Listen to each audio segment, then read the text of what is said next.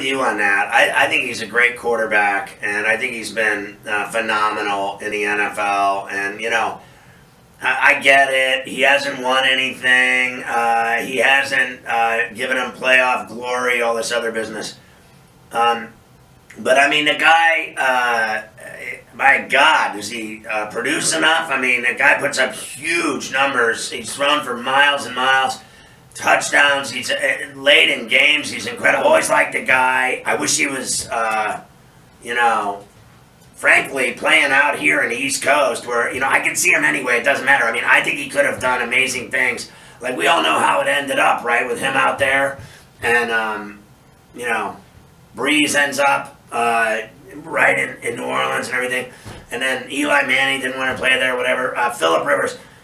I, have loved him. I, think he's such a, you know, dangerous quarterback, and he's so gutsy, and he slings it around. The way that guy throws ropes, uh, sideline to sideline, vertical, the way he throws deep. Now, I get it. The argument that he hasn't won enough big games, enough playoff games, uh, Super Bowls, anything like that, that he'll be judged by that. So you're probably right. He's not going to get in based on that. I mean, this whole thing is a it's a popularity contest, and it's all about stats, right? It's all about uh, what have you done uh, in the postseason? They never talk about Tom Brady about anything except his postseason glory. No one cares about your regular season numbers.